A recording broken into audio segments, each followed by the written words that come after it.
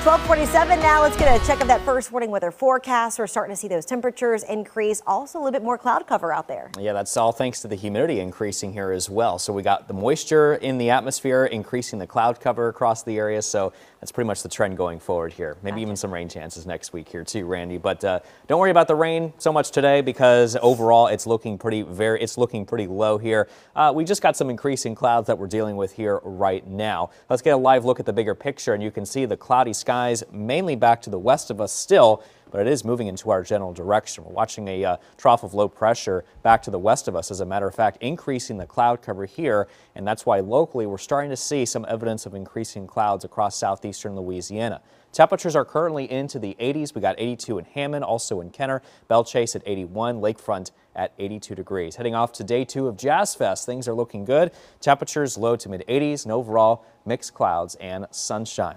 Temperatures into the low to mid 80s across the South Shore as well, mostly cloudy skies here. North Shore, you're looking at highs today, low to mid 80s, partly to mostly cloudy weather conditions. And getting back to the bigger picture, you can see that warm southeasterly wind coming up from the Gulf of Mexico, helping to increase our cloud cover for the most part here today. We will be looking at some cloudier conditions, though, I'm thinking, as we head into overnight tonight into early tomorrow morning. But I do think, though, by the time we reach tomorrow afternoon, much of the cloudy skies begin to decrease in coverage. We'll see a little bit more sun potentially across some, some locations. And then overnight, as we head into early on Sunday morning, Things uh, clear out here once again. Still working with that southeasterly wind. Some of those showers could develop along that southeasterly breeze here as well, along that moisture gradient, and we could be looking at some little bits of uh, showers, maybe a couple rumbles of thunder for parts of the North Shore as we head into Sunday afternoon. Watch out for that, but for the most part, again, rain chances looking pretty low. Watching for showers and storms back to the west of us as we head into Sunday night.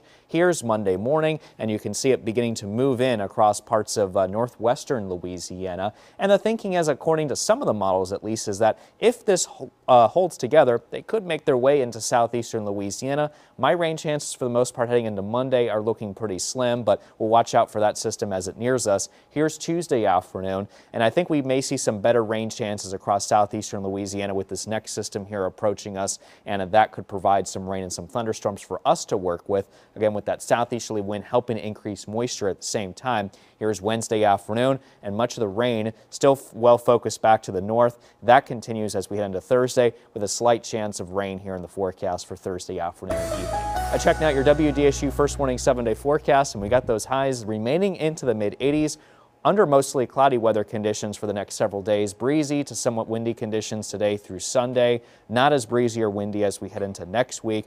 Mostly cloudy skies there with highs still remaining into the mid 80s. Slight chance of showers and thunderstorms for Monday, but better storm chances I think here on Tuesday. Less rain and storm chances Wednesday and Thursday with those highs still into the mid 80s. Low temperatures into the 60s and low 70s.